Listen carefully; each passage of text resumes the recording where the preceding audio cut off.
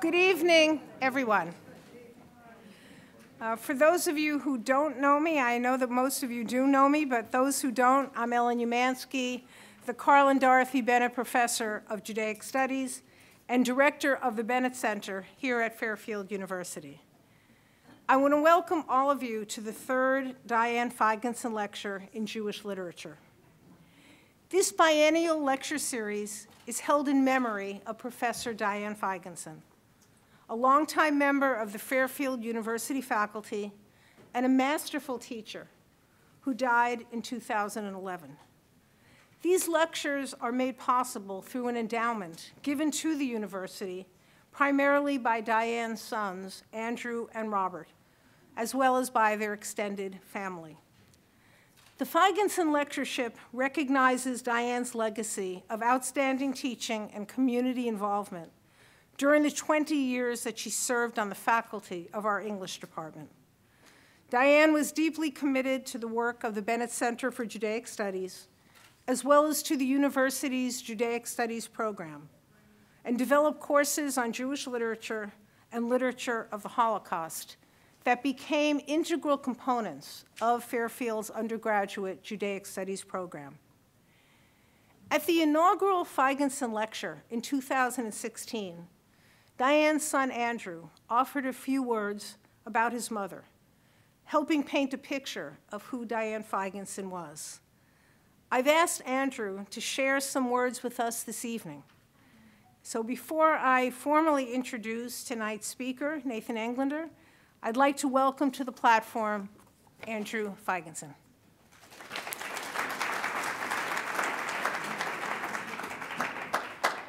My, uh, my daughter here, who's eight years old, Julia, said she already doesn't understand anything. So, so, uh, so first of all, thank you all for being here. It's amazing to see everybody. It's very meaningful to me. It's meaningful to my family, you know, to Ellen as well um, when Ellen asked me to say a few words, I thought, well, you know, what's the best way to start any kind of talk like this? And I know you're thinking the same thing I am. It's Jerry Seinfeld, right? We would start with Jerry Seinfeld. Uh, so just a quick story. About five years ago, I was asked to, uh, to do a presentation at what they call a TV upfront. And for those of you who don't know what that is, that's when TV networks release their new programs for the year and they bring in these famous celebrities and they put them all on stage to entertain a bunch of people who are, who are going to buy ads from them. They try to, try to get advertising dollars. And, and so, so, of course, I'm not a famous celebrity. I'm not really that interesting. I happen to know numbers okay. So they asked me to be the numbers guy up there to talk about numbers. So you got to imagine this. I, I come in, I'm wearing my suit, and uh, I show up and they bring me down to this green room. And down in the green room, you got like really cool people. Like there's a band with tattoos all over, and uh, Dennis Quaid and David Spade and the Robot Chicken authors. And like it's like there's this impressive group. And we're sitting here watching a screen of what's happening on the stage. And, and uh, you know, and you know, we're all going to be going afterwards. And it starts off with this, you know, the CEO of Sony. And then, then they bring in Jerry Seinfeld, right? And of course, he's talking about like comedians in cars drinking coffee, and the audience is laughing. And, and, and, as they bring me up into like the, the back of where the curtains are, I'm thinking, good God, like I gotta go on now. And so Jerry Seinfeld wraps up and he says, and now I'm gonna introduce another boring suit. Of course, here I am in my suit. I'm the only guy in a suit. And I walk on, and I don't know why, just out of my mouth, I said, um, uh, Jerry, thanks for opening for me. I'm sure your mom would be proud of you. and the whole audience laughed. And I, and I say this because I think my mom would have been proud of me, mainly because one of the courses that she taught here was called Make 'em Laugh. And it was all about uh, how, how Yiddish culture ended up influencing America through humor. And she started off talking about the, the Yiddish theater and then moved on to, uh, to, to vaudeville and on to, of course, you know, George Burns and all the way to Jerry Seinfeld, which is about where she, where she wrapped this stuff up. And, and I think what, what impressed me about it was that um, she knew two things about humor. One was as um, as, uh, as uh, uh, uh, Mel Brooks once said, was that, that humor is the thing that protects us from the rest of the universe, right? And so when things are tough or you got, you know, crazy stuff going on like, like the coronavirus now, kind of humor gets you through these things, right? But the other thing that was a part of it, and I think what, what she captured in her class really well, was that, uh, that it's also a way of building empathy right? Because when you build in humor, it's a way of understanding each other. And uh, you know, the reason I'm, I'm excited to have Nathan here today is, is what I love about his writing and his books is that it brings this very light way of looking at, at the Jewish culture that I think bridges the gap between people who are Jewish and not Jewish, and also within the different beliefs people have within Judaism, which are all kind of all over the place as well. Um, so I'm very excited to have you here today. Um, so, and with that said, I, I, wanted to thank you all very much for being here. I wanted to thank Ellen for, for just keeping these lectures going and everything you do for this program, and uh, you know the university overall for, for, for not just this, but everything they do in the community. Anyone that lives in this community knows Fairfield does a heck of a lot. And, uh, and thank you, Nathan, for being here. So, um, yeah, thank you.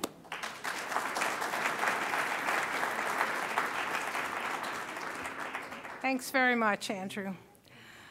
Just about a year ago, I was reading a review of Nathan Englander's new, newly published novel, Kaddish.com, and I instantly thought Nathan Englander would be the ideal person to deliver the 2020 Diane Feigenson Lecture in Jewish Studies. I wonder if I could get him to come here. Nathan was my ideal choice for several reasons. First, he is a writer who doesn't just happen to be Jewish, but is a writer whose work, in one way or another, focuses on Jews, Jewish identity, Jewish history, and religious belief, disbelief, or doubt. His works include short stories and novels inhabited by contemporary Orthodox Jews, young and old, Holocaust survivors, scores of rabbis, both modern Orthodox and Hasidic, Jewish writers imprisoned in Stalinist Russia, Israeli spies and West Bank settlers, a Jewish Schlemiel or fool in 1976 Argentina, and a few American Jewish men who are attracted to or obsessed with pornography. Kaddish.com is Nathan Englander's fifth book, and it focuses not only on Jews, but also, perhaps more fully than any of his other works, on Judaism itself and the conflict or intersection of religious faith and technology. The second reason I wanted to bring Nathan here is because I love his writing. And in fact, if I could write as well as he does, I might even consider writing fiction. the third reason I wanted to bring Nathan to Fairfield University was that I knew Diane Feigenson loved his work. And in fact, just after he published his first short story collection for the relief of unbearable urges, she came into the Bennett Center, saw Elaine Bowman, who used to work with me, and apparently recommended that Elaine read Nathan's short story collection. And I know that Diane would have loved to have read and teach Kaddish.com, for she very much believed in exposing students, not just to the value and beauty of Jewish literature, but also to its darkness and humor. Kaddish.com has all of this, with a protagonist who is often sympathetic, but at other times less so. Nathan Englander's work has been favorably compared to that of such giants of modern literature as Philip Roth, Isaac Bashevis Singer, Bernard Malamud, Saul Bellow, Nikolai Gogol, James Joyce, John Cheever, and Franz Kafka. For over 20 years, from his first best selling collection of short stories, For the Relief of Unbearable Urges, published in 1999, when he was 29 years old, through the publication of Kaddish.com in hardcover last year and in paperback just a few weeks ago, Nathan continues to write in words that, as one reviewer accurately put it, are both precise and evocative. Uh, Nathan grew up in a modern Orthodox family in Long Island, New York. He attended the Hebrew Academy of Nassau County uh, for high school, which is relevant background for readers of his works, and received his BA degree from SUNY Binghamton. He then earned an MFA from the Iowa Writers Workshop, a two-year in residence graduate program in creative writing at the University of Iowa. He has won a ton of awards, and with him sitting right in front of me, maybe he doesn't want me to go through all of them. Um, I, I, can mention that you know his, his uh, 2012 story collection, What We Talk About When We Talk About Anne Frank, uh, was a finalist for the Pulitzer Prize in Fiction. He's also received a Guggenheim Fellowship, the Bard Fiction Prize, a fellowship at the Dorothy and Lewis Cullman Center for Scholars and Writers at the New York Public Library. Um, there are a slew more awards, but in his spare time, he teaches fiction in the MFA program at New York University. It truly is an honor for me to welcome to Fairfield University to deliver this year's Diane Feigenson Lecture in Jewish Literature on the topic Guilt, Memory, and the Beta God. Nathan Englander.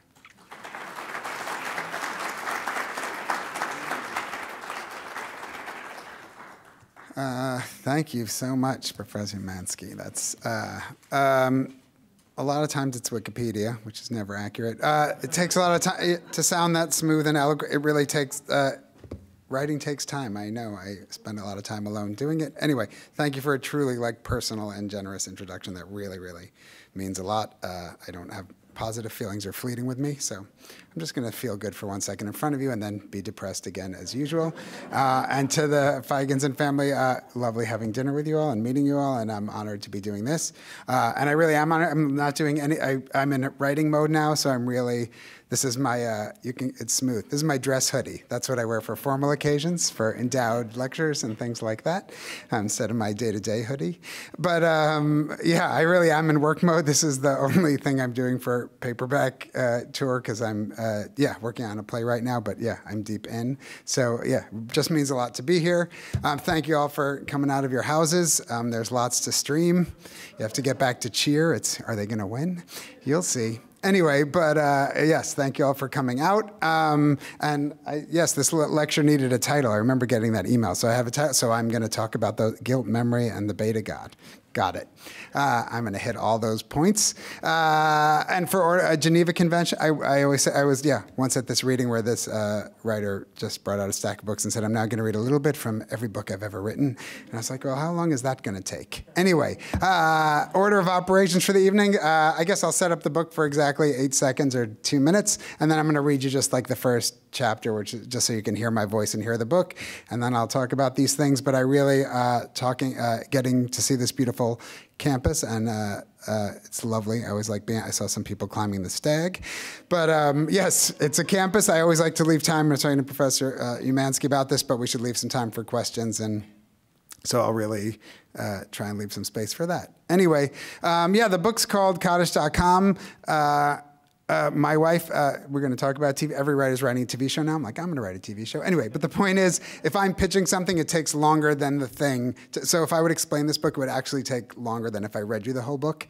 Uh, I'm not good at setups. I start telling each joke in order. But uh, yes, it's called Kaddish.com. I got this idea for this book years ago, and the first thing I did was go online and check Kaddish.com because I really didn't want to write Kaddish.edu or Kaddish.net. It doesn't work for me. It was really weird to have a book tied to its title, but this, you know, marriage of religiosity and the internet, which we'll talk about. But um, yes, I really was just, it was probably a decade after my father had passed away, and I was really thinking about memory and loss and the Kaddish itself, which is the prayer for mourning. It's a pretty safe room, but I'll explain anyway. But um, yes, uh, and I really wanted to write this book about it, and I thought, again, about uh, this person ends up seeking out a site where you can say Kaddish. Basically, he's not up to the task. The main character that you're going to meet in the first chapter, who then becomes born again again, which we'll talk about. But nonetheless, he signs up on a site to say the Kaddish. Um, the only fact I really want to tell you about that is I really tried to buy the site immediately. I was like, I need this site for when there's a book. I got to have Kaddish, and they wouldn't sell it to me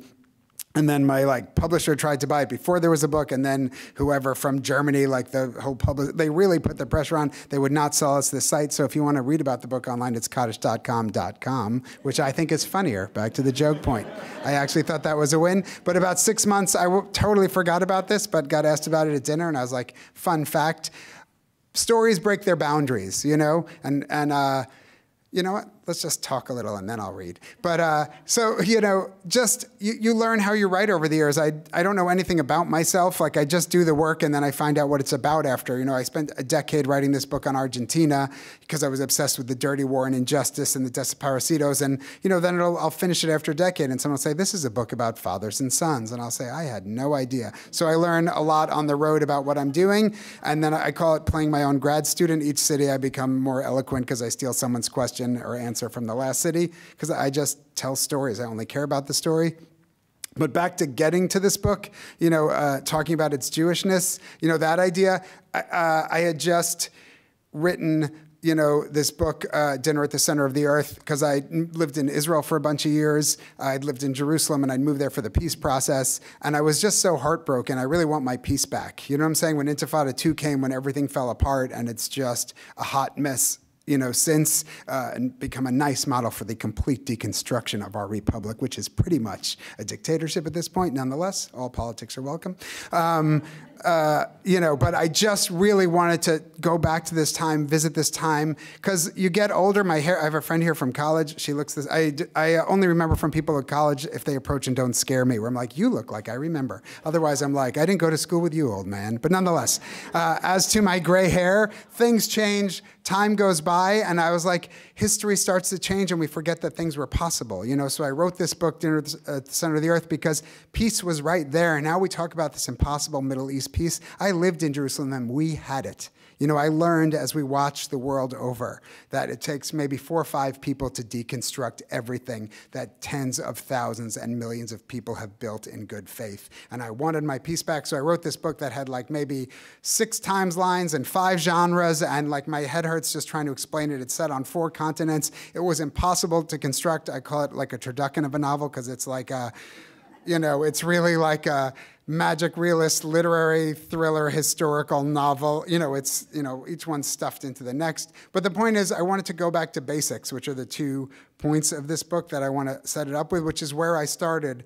You know, that introduction made me think of all this. Where I started, like talking about the Jewish community and a world I grew up in, I was like, I want to go revisit it, but 20 years later. You know, like, what is it like to go back to this space? And again, after all the timelines, I wanted a singular arc, someone on a journey and I also wanted to, uh, I, I spent, you know, 20 years back to comparisons to Roth, and I had a nice relationship with Philip Roth over the years. You know, he was having this, answering this same question for a million years, where I'm, you know, many generations American, but I have to be a hyphenated writer, a Jewish writer. I was like, why don't I get to just be American? You know what I'm saying? John Cheever didn't have to be a Christian writer. You know what I'm saying? Like he, um, you know, Updike, like they get to be an American. I just, for 20 years, but back to this moment and back to what's happening and back to how this country has shifted, I was like, oh, I'm as Jewish as they come. You know, now I write with like 10 yarmulkes stacked on my head.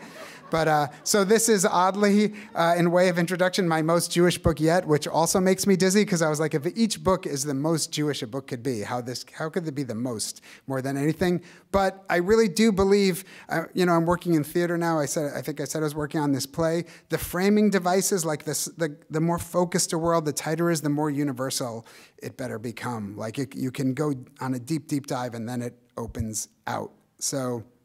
Yeah, back to looking at the Kaddish. I think that started when you say, where do stories come from? I started to learn the dark jokes of how I work. You know what I'm saying? Like I used to have long, long hair down my back. Picture maybe a Cher circa Moonstruck or the drummer from Ratt. You know, like I look like that, and I'd go to like Shabbos dinner at my sister's who wears a wig and is very religious, and her friends would say like, "Oh, I can make such a wig out of that hair."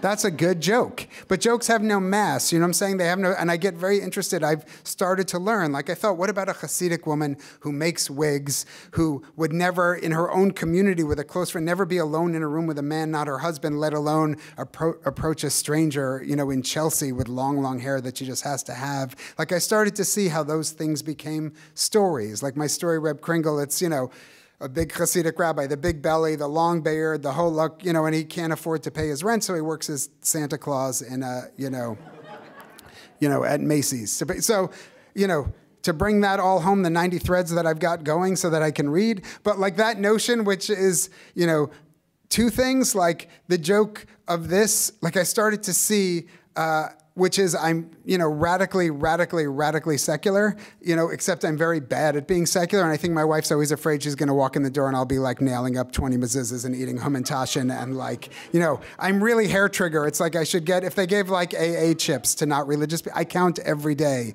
that I stay not religious. You know, it really is a battle for me, you know. So I was thinking about the flip of the flip. You know, I'm saying that's the core of this book. But back to, uh, that uh, Santa Claus story, what I want to say there is I have met in the last 20 years every single Jewish Santa Claus in America, and they are legion. I'm sure one of you will come forward tonight.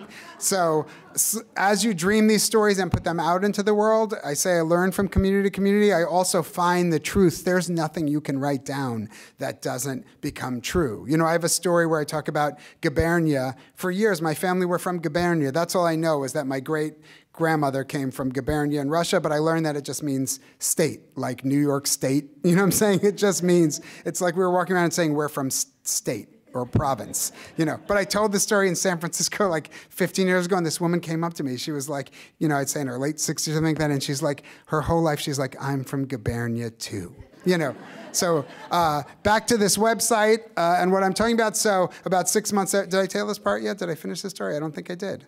But um, I have a seven month old, by the way, now. So as long as I don't fall asleep at the thing, so back to not doing events. So I haven't slept in about 54 days. The other thing my wife's told me never say you're tired on book tour or traveling because she's like, I was up at four. Anyway, um, so yes, the end of the Kaddish.com thing is I wanted this website. We couldn't get this website. I was doing this book. I have to have it. But I'm back to stories breaking their boundaries. About six months after the book came out, I got a call from a journalist uh, asking me what I felt uh, about the site. So the uh, whoever owned it or was able to own it read the book uh, and liked the book, and uh, so the story that is a made-up story about Kaddish.com has now become a real website where you can. Uh, hire people to say the prayer for the dead, which I always forget to say, but it's of interest. And there's a very a Jewish idea. If you there's ideas if you like uh, help, you know, if you introduce a Jewish couple and they get married, like there's ways to get into heaven, but I'm wondering if there's any uh, proxy way that I get in for, you know, now, uh, now that this site has gone live. Um, that's the longest introduction I've ever given. Uh, I'm really going to read for, yeah, 10 or 12 minutes, and then I will uh, talk about a couple of things, and then we'll chat to each other, which I'm all excited about. Mirrors covered and front door ajar, collar torn and sporting a shadow of beard. Larry leans against the granite top of his sister's fancy kitchen island. He says, Everyone's staring at me, all of your friends. That's what people do, Dina tells him. They come, they say kind things, they feel uncomfortable, and they stare. It's only hours after the funeral, and honestly, Larry hates himself for bringing it up. He really thought nothing could add to the despair of his father's loss, but this, this quiet, muttering stream of well wishers has made it, for Larry, all the worse. What he's taking issue with is the look that he's getting. It's not the usual pain nod one naturally offers. Larry's convinced there's a bite to it, condemning. He doesn't know how he'll survive a week trapped in his sister's home, in his sister's community, when every time one of the visitors glances over, Larry feels himself appraised. And so he keeps raising his hand to the top of his head, checking for the yarmulke sitting there like a hubcap for all its emotional weight. Its absence at his own father's Shiva would be the same as standing naked before them. Sneaked off into the kitchen with his sister, their first moment alone, Larry unloads his complaints in a hiss. Tell them, he says, to stop looking my way. At a condolence call, you want them not to look at the. Dina pauses. What are we, the condoled, the aggrieved? We are the grievances. The mourner, she says, you want them not to show that they care. I want them not to judge me just because I left their stupid world. Dina laughs, her first since they put their father into the ground. This is so like you, his sister tells him, to make it negative, to complicate what can't be any more simple. This bitterness in the face of what is pure niceness is on you. On me? Are you kidding? Are you really saying that today? You know that I am, little brother. I love you, Larry, but if you choose even yes today to throw one of your fits, my fits, don't yell, Larry. People can hear. Fuck the people. Oh, that's nice. I mean it, Larry says, thinking that fit may not be a completely inappropriate word. Go on then, curse the terrible people who will cook for us and feed us and drive carpool for me all week and make sure that we don't mourn alone. Yes, curse at the nice men who washed our father's body and prepared the shroud and laid the hands atop his eyes and now come to make a minyan in this house. Spare me, Dina. It's my mourning too, and I should get to feel at home in your home as much as them. Who's saying different? But you have to understand they aren't used to it, Larry, used to what you do. Dina takes a breath, reorganizing her thoughts.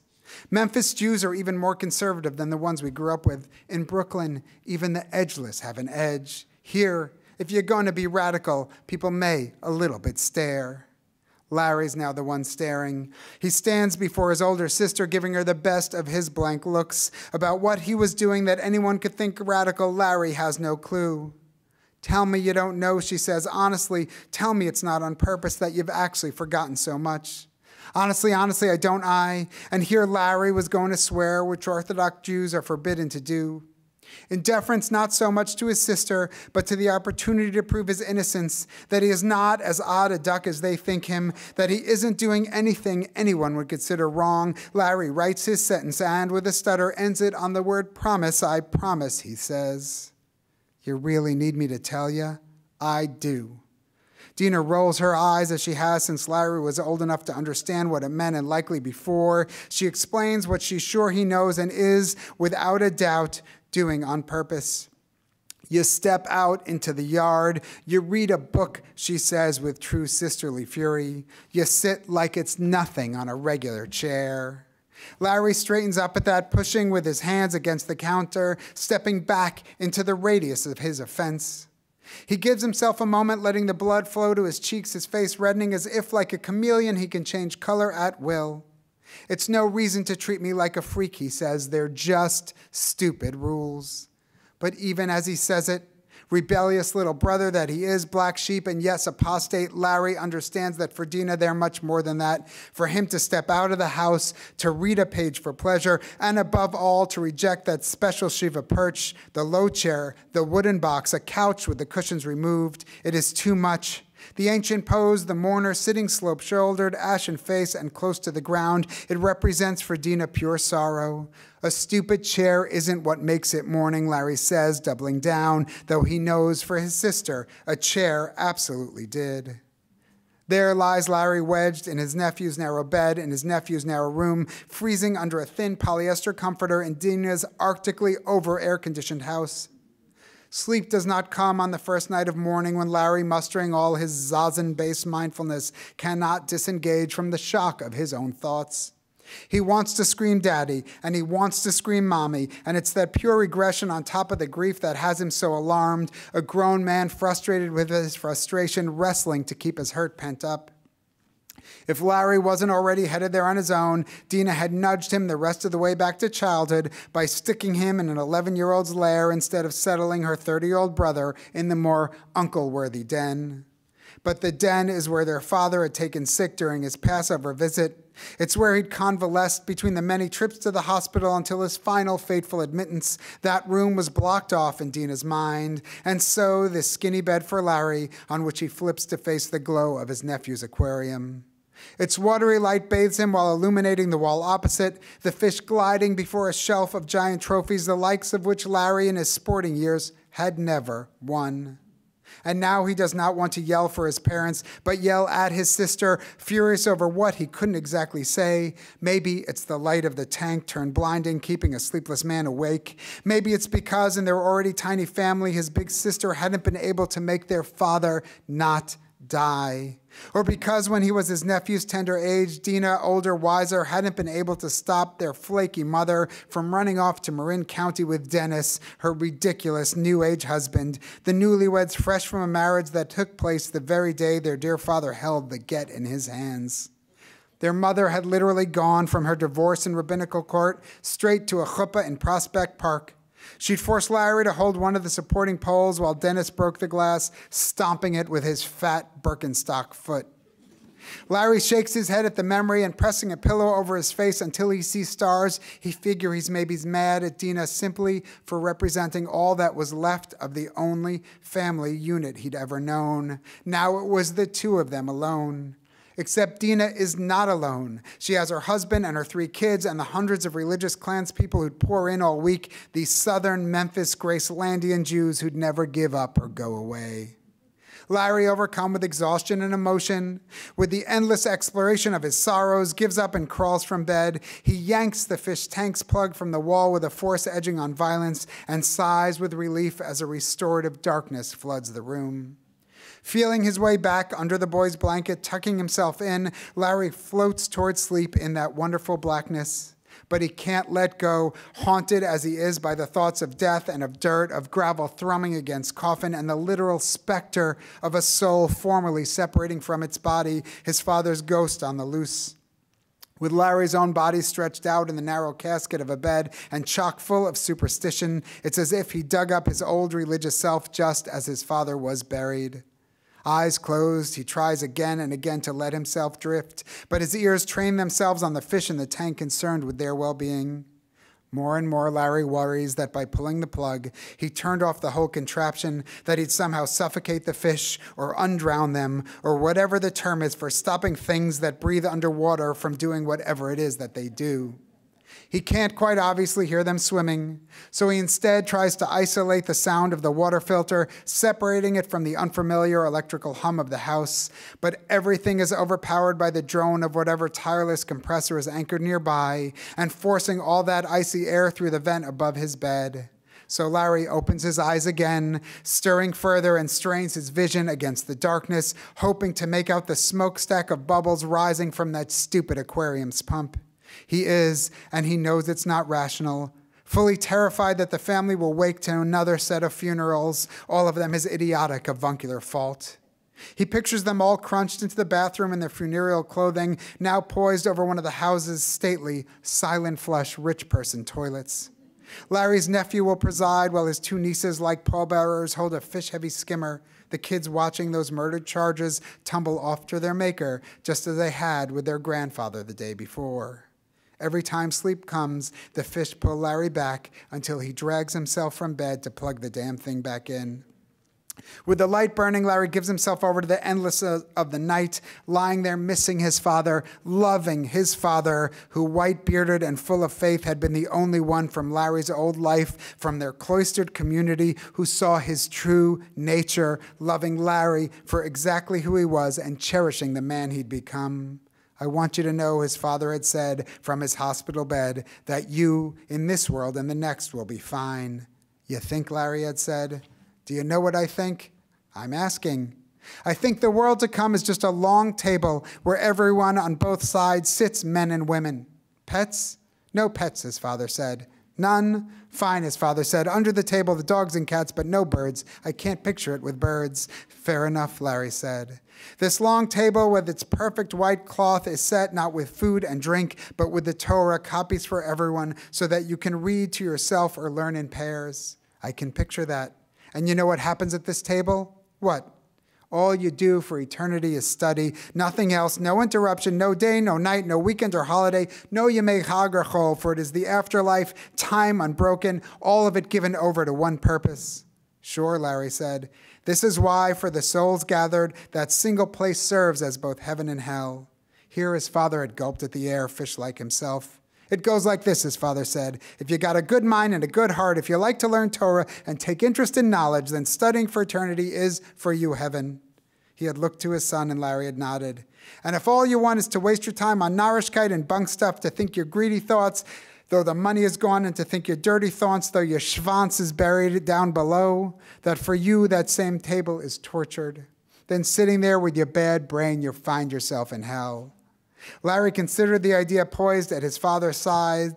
Partly he thought it was funny and thought about making a Larry like joke, but being his father's son, Larry also took it seriously. He was awed at the notion and somehow afraid. His father, who could read him like no one else, reached out with his liver spotted hand and laying it atop Larry said, I'm sure in that place for you it would be heaven. Larry had gasped, not from surprise, but choking back the rush of comfort he took in his father's ruling. Trust me, Larry. It's all right that you don't believe. This period in your life, it feels like it's forever, but if you're lucky, life is long, and each of these forevers will one day seem fleeting. You think when I was your age that I could have pictured this? That it would be 1999, the edge of a new millennium, and I'd be saying goodbye to a handsome grown son at the end of my days? I can tell you that even back then, I already felt old and thought I knew it all. His father gave a, squeak, a weak squeeze to Larry's hand. You're a good boy, and I pray that I don't see you across from me until you reach 120 years. But for you, my boychik, when it's the right time to take your seat, that table will feel like a blessing without end. I'll stop there. Um, thank you. So, yeah, I think, you know, that'll start us with uh, the guilt part and the memory part. But, you know, I was trying to think, you know, work gets, it gets political for me quick, but I think only if you're, you know, if you're Orwell, you can write politics intentionally. You have to just be your true self. Didactic work is, it, fiction cannot sour like milk. We were just talking with great passion about Custom of the Country, you know, a hundred year old Wharton novel that reads like it was written yesterday. Like it has to stay current. And it also, your intent, writers don't you know don't ask them to babysit don't lend them money don't like ask them to pick you up at the airport. Like it's a terrible you know, a broken bunch of people. They're all my dearest friends, like I am one of them. But when you're working, that's a separate system of weights and measures. Like your heart has to be in the right place when you work. You know what I'm saying? If you don't understand good and evil, you can't write characters. You know what I'm saying? Like it doesn't, it's not about funny or sad, but you have to understand up needs to read up and down needs to read, you know, down. And I think, you know, your true self, it like edges, you know, into your work. And that's got to be, it's like operating you know procedure. So politics for me that's that's a personal thing. But what i think about uh, you know back to having lived in israel when i talk about this last book the books work in pairs for me. When i look at this one it's about you know i think so much about our country torn. You know something that's happened that we've you know, imported from, I think, like Israel to America. It took me a long time there to understand that I was living a Jewish boy in Jerusalem and my holy site was Har HaBayit, like the Temple Mount, and that my Palestinian neighbor was living in Al Quds, like a separate city. You know what I'm saying? And Haram al Sharif, a separate holy site. Like we weren't on ends of a disagreement or a spectrum. We were two functioning realities. But we have that in the States now. We have, you know, we, you got your MSNBC and your Fox News. We have two separate realities. We are so split and it's torn the communities apart. It's torn the whole country apart. But, you know, my universe, it's not a partial universe. It's not a kind of universe. It's not a hyphenated America the world to me is all Jewish. You know, I was on book tour in Moscow last year. Like any country I get to, I'm in like Moscow four hours and I'm drinking whiskey with Hasidim and having like the best Georgian kosher food. Like the whole world's Jewish to me. So when I write a book like this that's so insular and so navel gazy, it is a universal. And what I wanted to look at back to guilt and that pressure, I wanted to look at a family how families, you know, what is a country, what is society, why have a civilization if we're not going to take care of each other? But nothing sums up family and community more than mourning, and nothing puts more pressure on a family than a disagreement about mourning, and fiction better be the most pressurized form.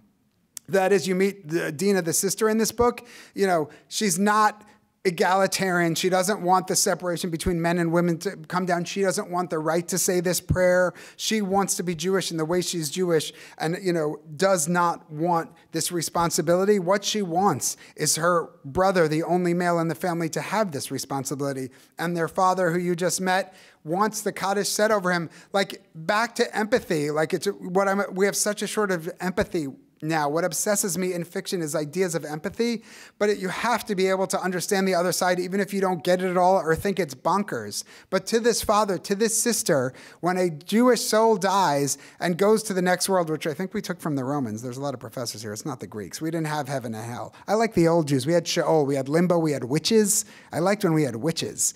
Go read a witch of, you know, Endor. Anyway, I like me a witch. Anyway, nonetheless, we have heaven and hell now. But really, you have this consciousness of Olam Haba, which still touches on that, which is the world to come. It's a singular space in that way.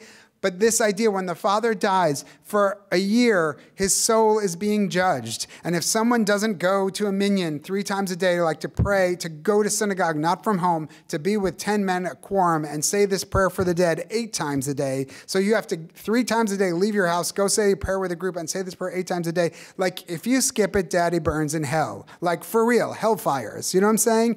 And I just wanted to set up that thing for a brother who is not religious, who is secular, who has left the fold old, the expectation that he is going to go to synagogue three times a day for 11 months and not miss one, not once, you know, be like, if there's a spin class, you know, no skipping, you know, like that is an impossible ask. And that to me is what sets up the pressurized form of fiction to set this brother and sister at odds. You know what I'm saying? And what happens, you know, which is uh, my super long and windy introduction, the born again again part, I was thinking about this book has an elision. I love negative space, I love absence. Just the idea of me being here, of all of us being together, like this group of people, it takes infinity for this room to have gathered. It's never happened before. It'll never happen this way again. But what makes it real is I don't have all your stories. You know what I'm saying? Like I say, like, you know, we met, I say this. That absence is what every fact makes things unreal. Boring backstory makes things unreal. What you need is just life happens. And there is a skip. 20 years later, we just meet him, and he's super orthodox again. He's got the beard and the belly and the suit, you know, and he's born again again. Because I was really thinking about that, that we get one flip. You know what I'm saying? I just, I turned 50. God help me. It happens. Anyway, I like it. It feels good. The build up, my mom reminded me, I was so upset. She's like, don't you remember I cried every single day for a year when I was 49? I was like, I do remember that. The morning of feels great. I feel good. Anyway, but, uh, you know, you know, like, back to this notion of change, I still get introduced as, you know, he left ortho. You're like defined by these things of childhood. Like, and I thought about this idea. I love a good Jewish wedding. Like, I like to dance. You know what I'm saying? I like, I like that food. You know what I'm saying? I like to go home. And I thought, how strange, back to Gilgulim would obsess me, the cycles of life. Like, wouldn't it be more normal if more people switch back? You know, like that's it. You get to, you know, change sexuality once. You get to like change political, but we don't want, you want to become a libertarian, we'll hear about it for like an hour. But like, you don't get to switch back. You get we all get one switch. And I wanted to give this person a second switch, you know, back to this idea of memory, of childhood, of loving those things. And that's where we find him back in this world. And back to the guilt part, there's this notion of tikkun olam, of, of putting things right. And I love the idea of hiring someone, by the way, for the Kaddish is totally as kosher as can be. One thing I like about Jewish religion is it's super, super, super strict. It asks you to do everything, but then if you can't do it, we're like, let's make a deal. You know, we really, so you have to say the Kaddish. He's the only one in the world who can say this Kaddish, and any rabbi will tell him he has to say this Kaddish. And they're like, okay, you're not saying the Kaddish, you can hire someone. It's fine. It's just as kosher. But you start with that. You know what I'm saying? Like, you can't have a kosher Jewish wedding if, like, if the wife doesn't want to go to the mikveh, like, you have to go to the mikveh. If you don't want to go to the mikveh, still kosher. It's fine skip the mikveh. You know what I'm saying?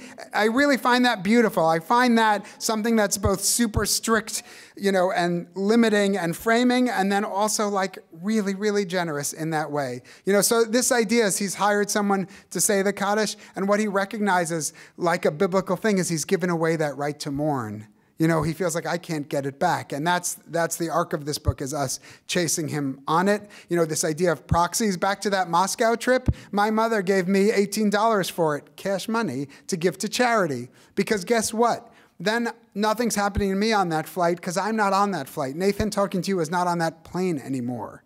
Who's on that plane is an emissary who's sent to do a charitable operation. I'm on a flight doing a mitzvah. I'm a representative of a do-gooder to do a good deed, and that protects you. And that, you know, even selling the Passover chametz when you know, uh, Jews have to sell all their chametz on Passover, and you find the nice town Gentile, which are becoming more. It's it's it's going good. America's hanging together. We're all right. But um, but you you know that person, that kindly neighbor who buys it, they become a proxy for the whole Jewish community. I think that's one of the nicest thing in America, like to have your neighbor represent, like a singular non-Jewish neighbor represents the whole community for a week. Like he becomes all of them. Like that's a beautiful, beautiful notion. So yes, he wants to find this proxy and to put things right.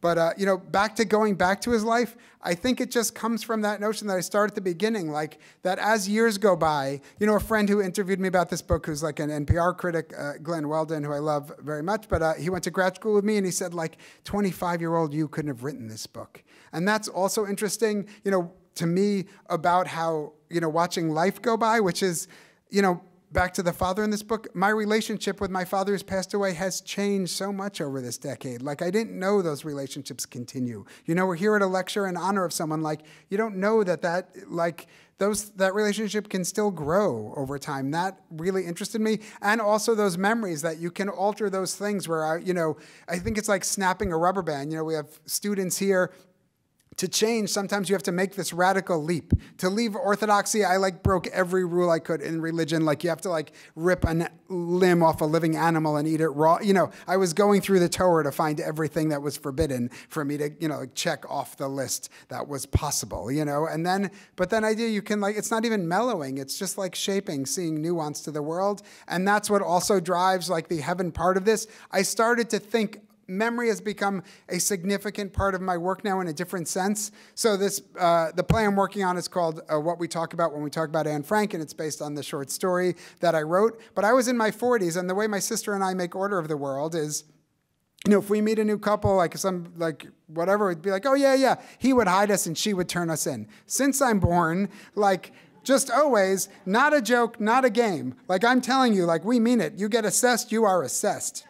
But, you know, when we meet people who would hide us in the event of a second Holocaust, that is our first question. We want hiding places. I hadn't thought, I was in my 40s and I was like, that seems pathological. That is probably the stuff of fiction, you know. And then I started to think into memory that way. And back to this, I thought of that yeshiva education and how it changes. You get this very beautiful biblical childhood, and then as soon as the boys hit puberty and might, you know, kiss an Italian girl, the rabbi's heaven changes real quick. They get real nervous, and then you start getting these, you know, the nicer version of heaven. Like I said, it's this place of learning. You're learning, which is I remember being really scared when I heard that. You're learning Torah 24 hours a day, seven days a week. Like if you're a good boy, you're in heaven. If you're a bad boy, you're in hell. But they'd also tell a 13 year old boy, heaven is you're sitting on a chair with God on one side and your mother on the other, and you just watch a movie of your life. What's to be afraid of? You know. But one of them, which is also central to this book, is this idea which I love very much, which is uh, that heaven is this extraordinary infinite feast, a table set, you know, with everything you could want. No diet, you know, you can have your carbs, you can have your sodium, everything, glatt kosher, whatever, gluten free, even if it's not. Like, eat what you want for eternity, but you go to eat and you see God has taken your elbows away. That's this heaven. And if you are a selfish person and a greedy person, you're going to stand there flailing for eternity, knocking food and starving. But if I feed you, sir, and you, if we reach across the table to each other, like, and then you are like having an eternal feast. You know, it's those kind of memories I've started tapping into and, and dreaming with dreamscapes, which I really am against dreams in fiction, except back to the worlds that you build. For a Jew and a rabbi on a mission in Jerusalem, Jews take dreams seriously, like seven years of famine, seven year of feast. If it's a Jerusalem related dream, like it's not even a dream in the book, it's another reality. So that's that's the whole book. That's the setup. That is the, you know, drive of the book. And one other element is the dot com part, which really obsesses me, which I think also drove this book. And it's stripped out. It's maybe one paragraph in the book, even though I feel like it's in the spirit of this book, which I was the. I wish I was naughty again. Seeing that friend from college, like, why didn't you make me smoke weed? You know, like I don't know. I, I was like so. You know, we were goody two shoes, and like we lived in this. Our whole dorm was painted black. They were all dropping. There were like a few of us. We were in the craziest dorm, but I was so good, right? We were like well, the well-behaved kids. Yeah, I wish I'd been naughty and snuck out and run wild, but I would get in trouble for theological questions. You know, like that's what I'd get thrown out for for like challenging a syllogism. You know anyway, but like one of the things that I think probably is a thing that drove me away even of like these questions that nobody could answer. Again, uh, Ellen asked me to talk about this. You know, maybe we'll do in the Q and A. But how you get to be a writer is because anyone who's a professor of literature, who's a writer, it's because books saved you. You know what I'm saying? When I couldn't get answers, it was the books that I saw didn't have the answers. They weren't afraid to ask the questions. But really, one of the things was this idea of omniscience, of God knowing everything, knowing where everything everybody in here has done, what you're doing now, and what you're going to do next. You know what I'm saying? Literally, that's, and I said, like, that is just too much to ask, that like processing power. And what's really started to obsess me, which I wanted to put in this book, you know, on the internet part of it, which is we've sort of built a beta God. Like that idea, my phone now, it's, you know, it's not a joke. It literally knows everything I've done. Like if you are in the world, and again, I spent a year living in Malawi, like they're plugged in there too in Zomba. Like maybe there are some places there I saw where you could be possibly not filmed or tracked, but most of the places on the globe now, you know, if you like you are I call him the good bomber for being the bad bomber, but this guy who tried to blow up uh, you know in 42nd Street in the tunnel, but he was a very good bomber for being such a bad bad bomber. But like when they had to have his court case, they had basically a movie of him moving through the city from CCTV cameras, from store like you could just watch. So I'm saying if you've touched a smartphone in here like you have no secrets. You know what I'm saying? It's we are tracked. Everything we're done is known. Where we are right now is absolutely known. But I've noticed now with my Instagram, like it's not like you know, it's not like I want a cookie and I and I get an ad for food. It, you know what I'm saying? And it has some concept of hunger. It's like if I want a double stuffed Oreo, I open Instagram and it's a double stuffed. It's not a regular Oreo. You know what I'm saying? It's the double stuffed. You know, it's real. I just started talking to this artist woman who draws a lot about she's super feminist author like i talked to her like we've had a couple of conversations about maybe collaborating on something she paints these pictures that i love i literally i just sent her a screen i got an ad for uh, uh, reusable period underwear today. In fact, my Instagram, but I'm like, they like the phone knows that I'm talking to a woman who's interested in female functions of the body. Like she literally is interested in like menstrual. But like, I was like, that is cray cray. You know what I'm saying? It is tapped. It's that one's wrong, so that's not exacting. But again, I'm interested now. But anyway, but I'm just saying this idea of predictive technology, it literally knows what we want, what we're going. Like the ads know what's next, and I felt like that is literally that I questioned as a you know teenager this idea that a machine you know can build it that I couldn't believe that a God could know what everyone's doing. Like it makes me think, you know, as spurring this book, maybe I need to be religious again because maybe I was wrong. You know what I'm saying? Like I literally see now that omniscience is possible, like truly possible, because we have a really pretty good working version of it going right now. And I also want to say it's a Jewish God because the internet is vengeful and unforgiving and does not forget. So it is an, not only have we built a God, we have built a very Jewish uh, Old Testament God. You know what I'm saying? Maybe that's the next, maybe that's internet 2.0 will be a turn the other cheek, you know, internet where you don't get, you know, uh, yeah, where, where you don't get i'm you know i'm afraid to say cancel. I might get canceled for saying canceled. Anyway nonetheless. But yes that really is the shape of the book. But i promised i'd leave time for questions so i better stop right there.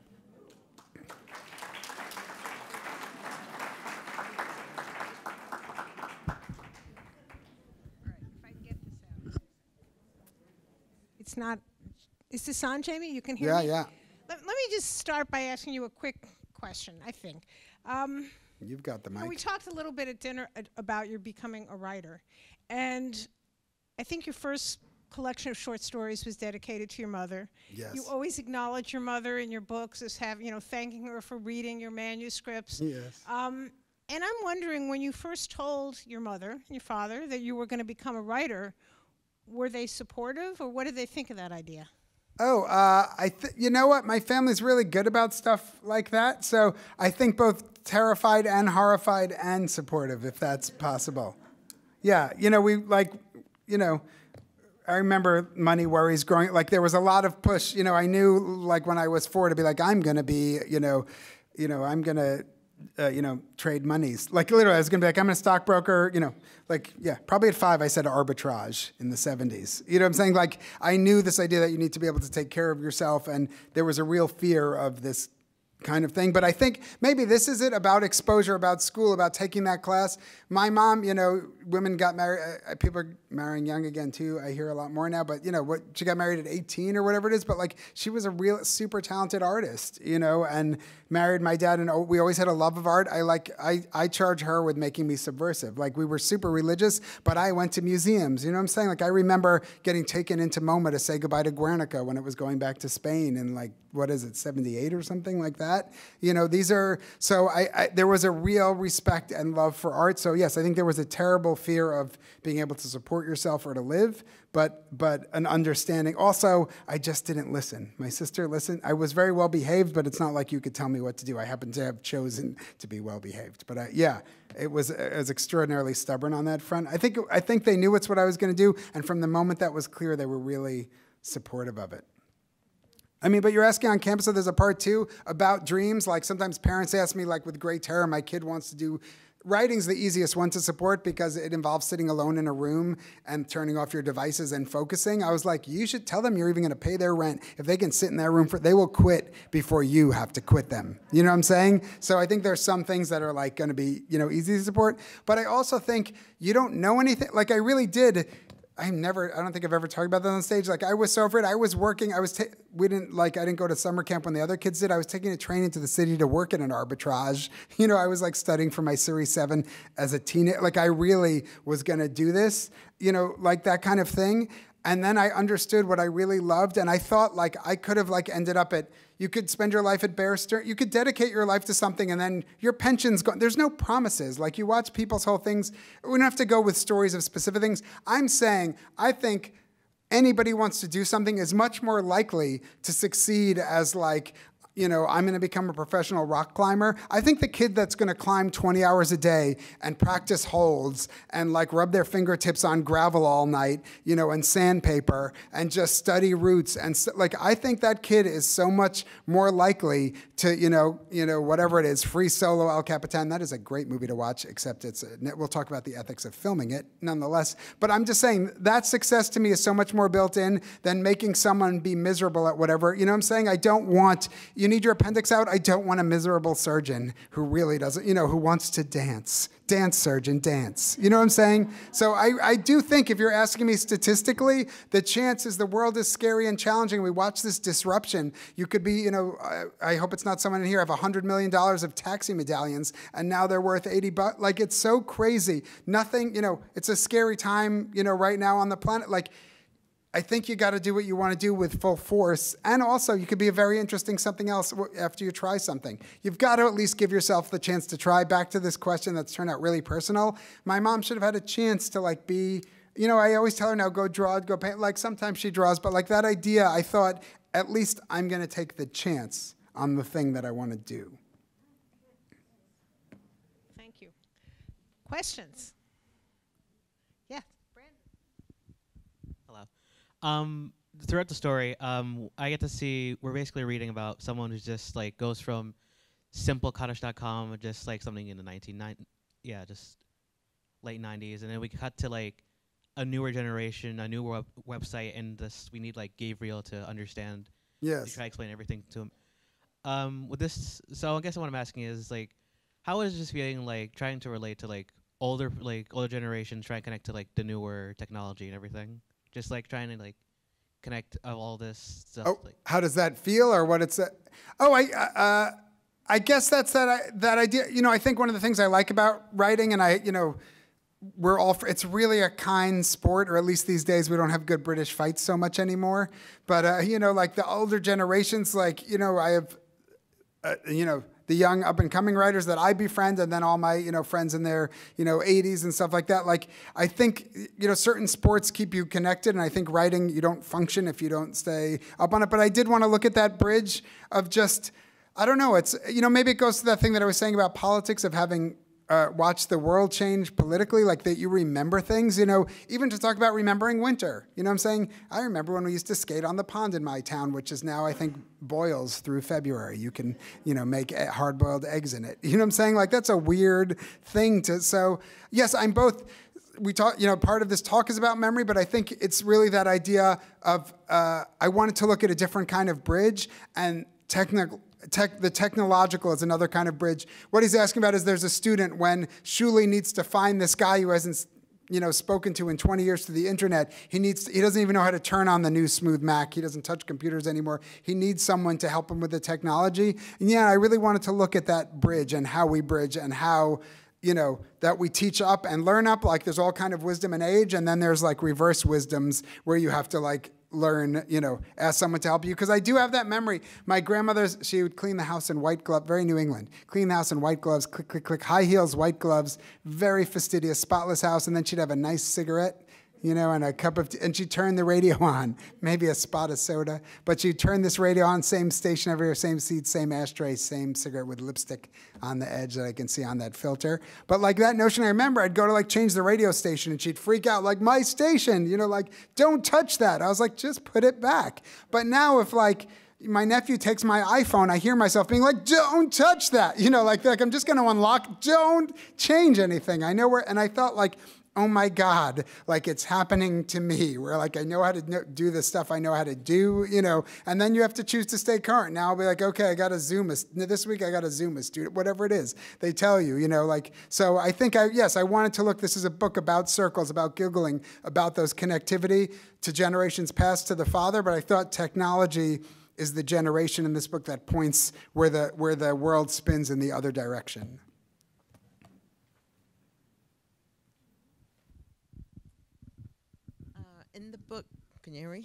In the book, it you go from like it, the at his sister's house with saying, and then going out to dot com, and the next thing, he's like religious. It's- Yes. There's no Yes. why he really uh, the tradition. Um, why he made that switch. right.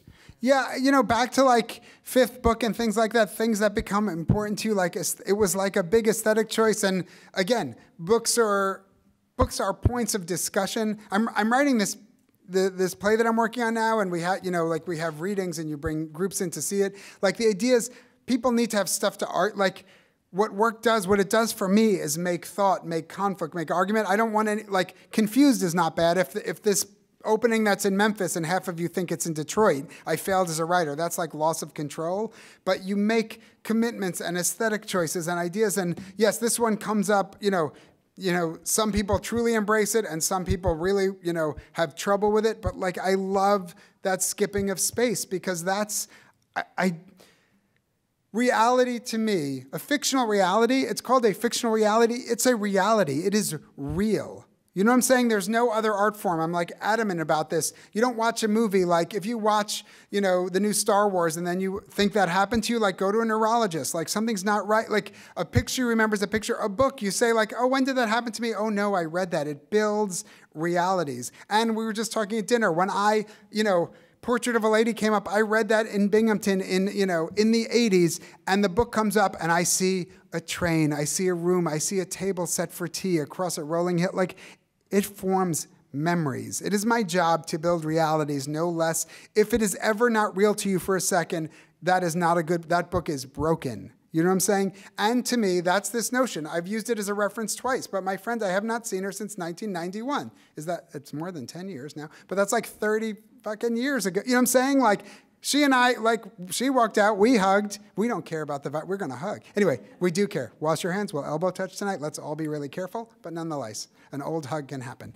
But, um, but I'm just saying, like, that whole point is I'm absent 30 years. Like, that is reality. Like, we just picked up where we left off. We are, I'm going to talk to her after, but we are missing 30 years. But it didn't seem less real. I knew who it was. Like, it all came rushing back. And I like, I feel like that's how story forms. And certain things, that interim time doesn't matter. And I didn't want my reader to have to read through that. And maybe, by the way, back to things like why I love new forms. As I said, I reached out to this wonderful, talented artist. I wanted like, I'll do the words, you do the art. Like, I love collaboration. As you learn, I have learned more doing drama, and maybe it's the drama leaking into fiction that's also behind that ju- jump.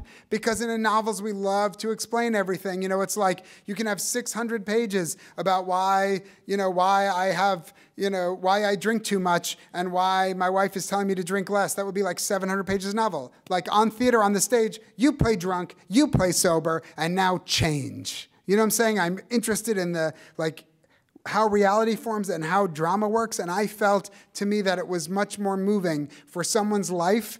Those are lost years to him, and they should be lost years to us. That was he was off the derech, he was off the path, and I felt we didn't need to see that. That like stepping right into his brain, regaling us over those missing years. Like that to me is how real life works. But I understand again, I don't control like some people. You know, it's I understand it's a, a wrestle point. You know, in a book group. Do we have time? Yeah, I don't have a clock. What time for one or two more Yeah, or we no have more? time for plenty more. Yeah, oh, sorry. George, Uh, Mr. Englander, thank you very Oh, Nathan, much. please. Um, I, I confess at the outset I have not read your book. Um, I downloaded better. it on my Kindle. I read three pages. As Um, long as you bought it. but I, well, I bought it. I paid for it. That's all we care about. So, so, so the question does not relate to the book. Um, it relates to something you said when you were describing uh, the child, you know, in putting him in the room um, and focusing. And this last hour has been very entertaining. You are incredibly creative. You are not so focused. Yes. So, could you please?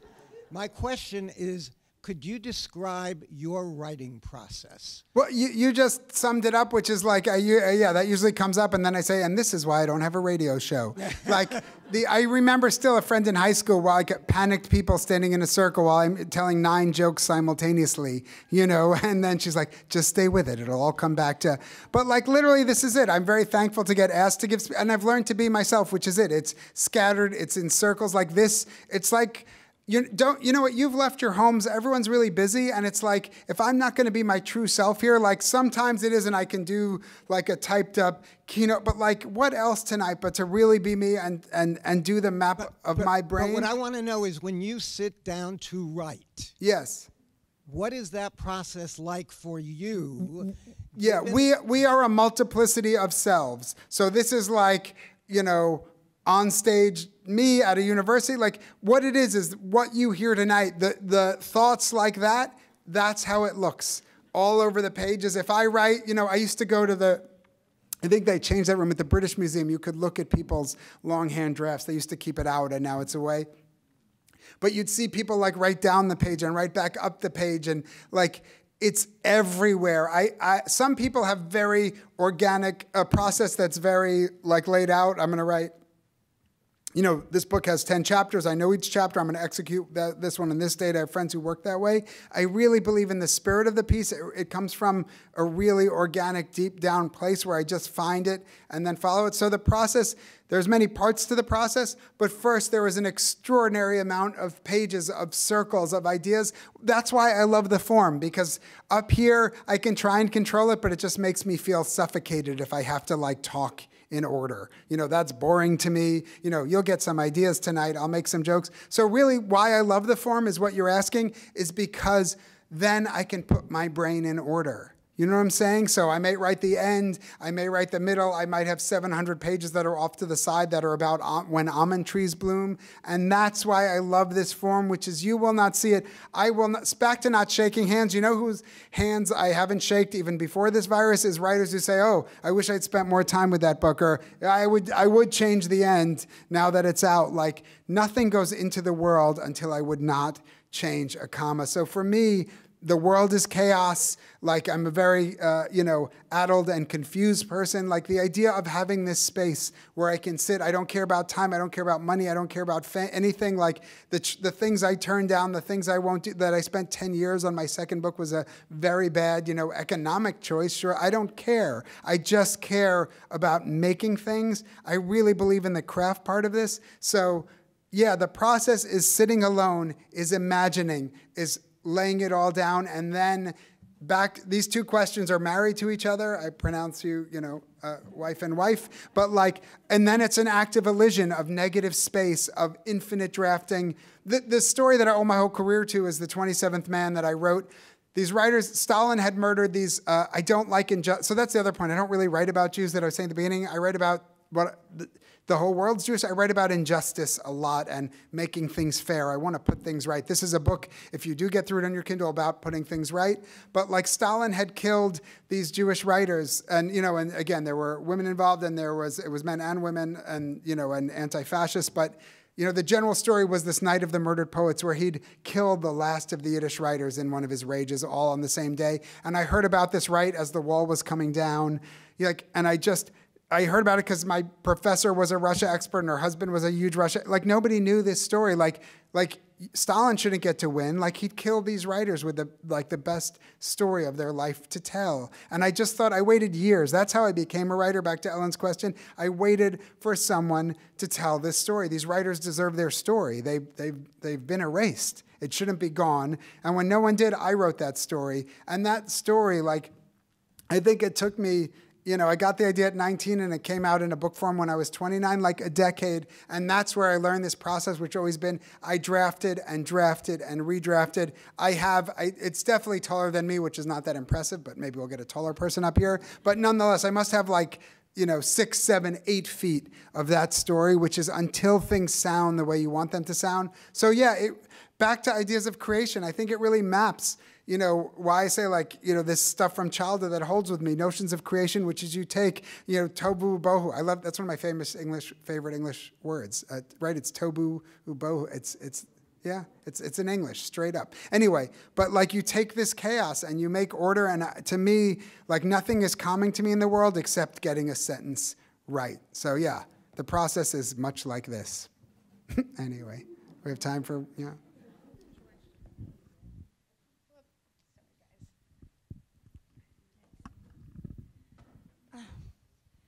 Well, it's it's quite quite a memorable time for me and all of us li- listening to you. I found Kaddish.com a book of order because what I saw was this man, Shuli, which you think about becomes Shul. Oh, nice. Yeah. And he had this problem of going to Shul. Uh, but but he and Kemi, at, I'm going to give this away, those of you who haven't read it, but you're talking about making things right and fair. Yeah. He makes things right and fair at the end Yeah. for his father, Yeah, yeah. for himself. He performs a mitzvah. You know, those two men say Kaddish for all Yeah, the guy, yeah. all the people they conned Yeah. and that that was a glorious ending. I also see a Faustian bargain going on, but and and like in Faust, Faust wins, Yeah. yeah, and so does Shuli, uh, and and I like the way. Uh, you also, I also thought of Jacob and Esau. Yeah, I did too. Yeah, that's that's yes. Yeah, because he's going to give away his rights, his birthrights. Well, yeah. and but but he claims them back. But all this this chaos and his guilt in his mind and his love. Uh, one, the year after his father's death, his tears are for himself, Yes. and then and then he he needs to claim his money back, not his birthright. But then then things fall into place, and he is saying Kaddish not only for his father, Yeah. but for all Yeah, yeah. people in, in Israel who, Yeah, who were. No, thank you for that closer. I mean, I think that's it. It's like it shouldn't be a syrupy thought. I really do think it's in reference to like what's you know just how I. You know, I'm not aware when I'm writing it, but like things I hunger for in the world today, like my word, if I give you my word, I do something. Like I'm just, you know, just shocked at like just this idea of us just, you know, you know, on every level of society, but like, you know, this, you know, and uh, especially on global levels of like, you know, commitments and promises. And like, I just think I got obsessed with someone who just wants to put things right, like at whatever cost. And also, it's like a quixotic journey, which also interests me, which I think why I mentioned a climbing movie. I'm very interested, you know, like that his wife it's you know that she has to put up with it. We everyone you know especially uh, we all have relationships, whatever they are in whatever form, but that we. Uh, sometimes get these things in our head that are constructs, but nonetheless, like I'm interested in the drive for anything. You know what I'm saying? I'm always, when we're rescuing people on top of Everest, I'm like, we can leave. I'm not so sure we need to, like, when people risk their lives, I'm like, you got up there, get down. But, you know, I'm very interested in a fictional way about this notion of people getting it into their head to, you know, get on a journey. And yes, I was very, very obsessed with this notion of Shuli fixing it with everyone, as you mentioned, with the people, you know, with his wife, with his kid, with his father, with his memory, and with himself. And I think, you know, I, I, I think it's an honor, an honorable, if neurotic, makeup for a person. And don't and also he remembers that his father said he'll be good, he'll be fine. And his wife yeah. says you can forgive yourself. Uh, so that those would be. I'm learning to let myself be in the book. I do not forgive myself anything. So I was like, I was thinking about this notion. I bet some people can forgive themselves anything. You know what I'm saying? I'll remember like, you know, if I didn't deliver a punchline right, I'll be like, that joke fell flat in 1974. You know, like you can forgive yourself. And that notion of never growing up, which I don't know if everyone feels that, but it's that very strange notion where he really does need this fatherly support. Like as I said, I just had a big birthday. I don't know when I'm going to feel like a grown up. It's really interesting. You know what I'm saying? Like, I, you know, I know when I'm like being a professor, be a professor, and being a writer, be a writer. But like this sense, I think it's built into some people, and I have it. I never, I never feel like a grown. You know what I'm saying? I'm capable in the world. I can do my things. I can make my phone call. But like, it's that notion. I was very interested in that, in that way that when you think back to parents or something, or a certain part of our brain is still seeking that extraordinary, you know, kind of support. So, Nathan, when you're in the middle of writing, Yeah. do you give yourself a certain amount of time to write each day or a certain number of pages, or you just stay in the room and continue to write as long as you're feeling it? Uh, it depends where we are in uh, parenting, or you know, what I'm saying I used to be a very bad boyfriend. I mean, I would just work all night and sleep all day and stuff like that. But uh, yeah, no, I uh, I'm extraordinarily disciplined. But back to things, you know.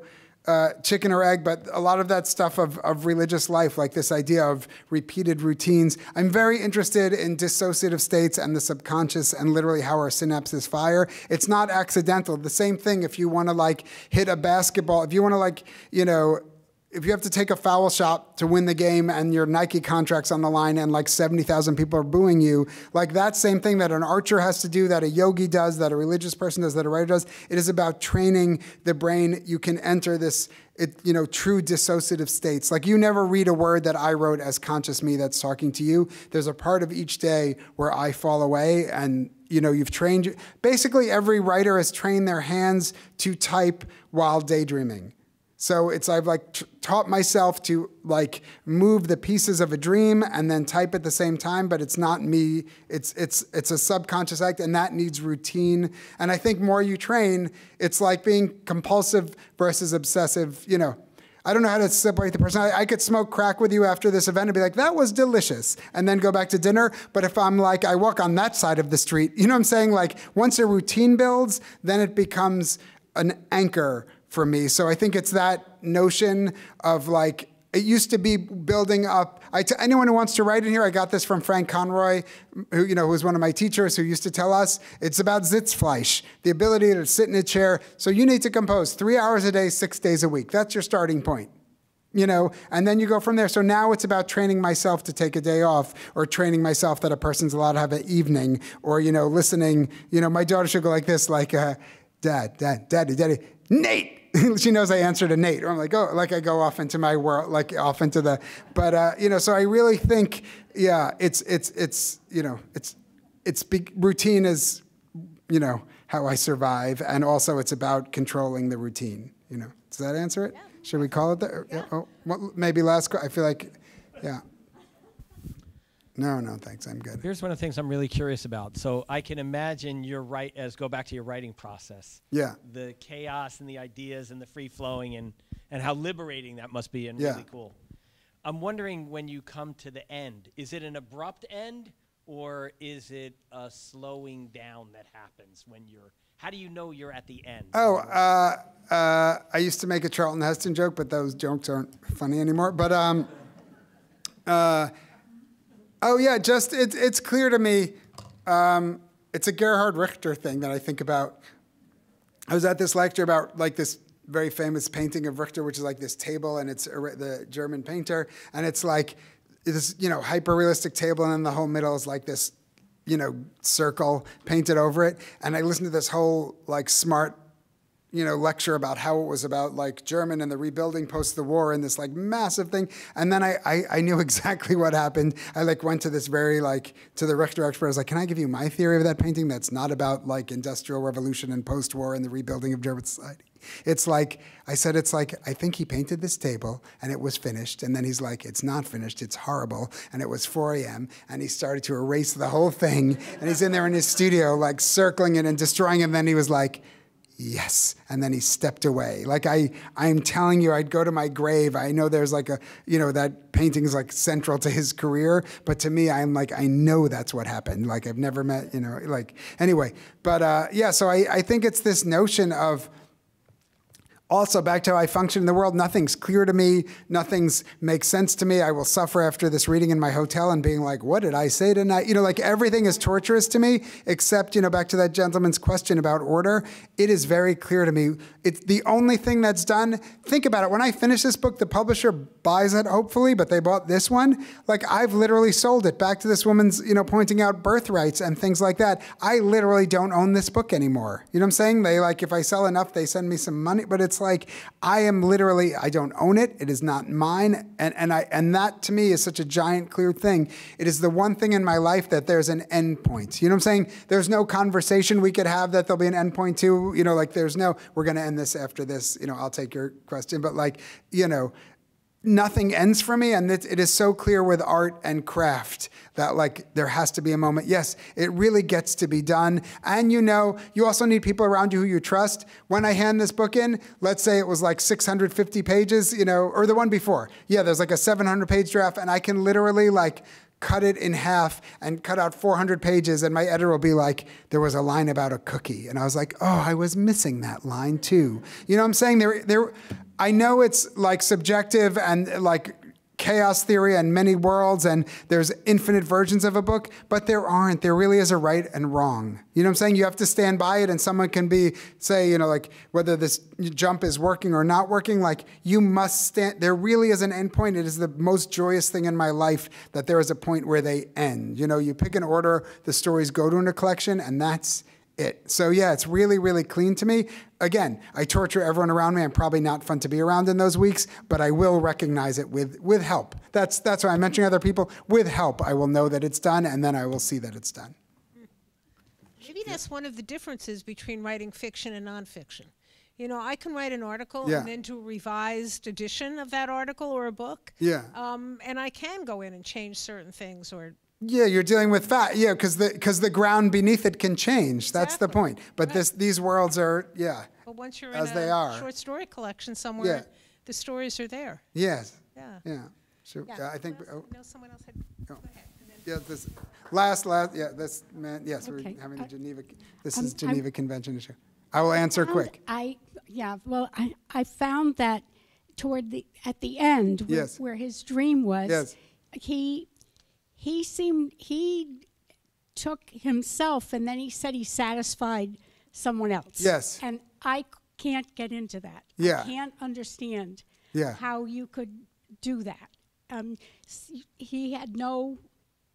I, I don't understand that relationship. Yeah. Oh, okay. so there's a uh, uh, a pornographic moment at the front of the book back to using this thing that that ends up returning in a dream, and that goes back very quickly to this internet thing, and back to all the ideas where you know it's uh, like to my family that was a truly shocking scene. You know what I'm saying? Like it makes the book pornographic, but it's like that notion, which is back to those relationships in the internet. We're having societal breakdown. So at the beginning, he's watching this like you know, I don't know what percentage of like people or men look at pornography. It's got to be, I'll go with in the high 99%. You know what I'm saying? Like this idea. So back to, if I'm talking about putting things right, it's my job as a writer to do the most pressurized form of things. So back to him, there's like a, a gender switch in there, but we can talk about ideas of like Shekhinah and the female god and like transfers in the word kadosh, which both means holy, but kadesh is I'm not going to do a deep Kabbalistic dive on that moment, but to the idea of this woman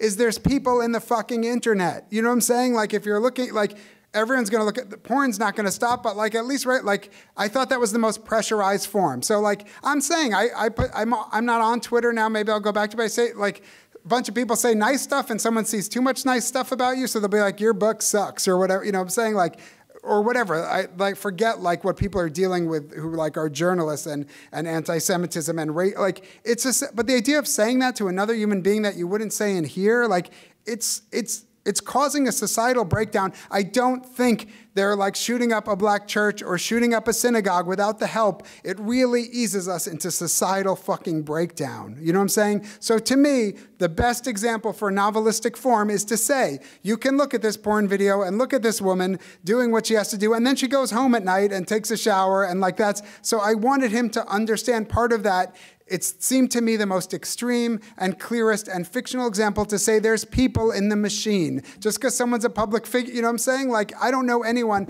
Back to Philip Roth, I remember before, like, two books ago came out when he was alive, and I said, Philip, I'm so nervous. Like, am I ever going to feel good? I'll feel stronger now. I'll be able to handle the reviews better and the, you know, anything better. And he said, no, no, you're going to get, your skin will get thinner and thinner until I can hold you up to the light. Like, it doesn't get easier to be out, you know, like when you see a Britney Spears shave her head and lose her mind and everyone think that's funny it's because we take a little girl and we make her the most famous thing in the world. That's not i don't know her, genetics or her brain chemistry. I'm saying that happened because it's un you can we break people all the time. So back to having a pornographic example in this book and then a pornographic reckoning it's because i wanted him as a character to have to recognize there's people in the machine whether you're insulting them or looking at them or scrolling through them or saying bad things to your partner like nate looks you know fat on instagram today whatever like i just think we've built a thing that is allowing us to practice breaking down humanity thank you.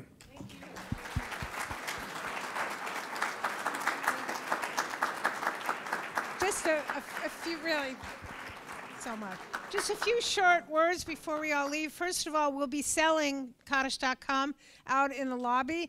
And Nathan, you know you're going to stay and sign some copies for people of your book.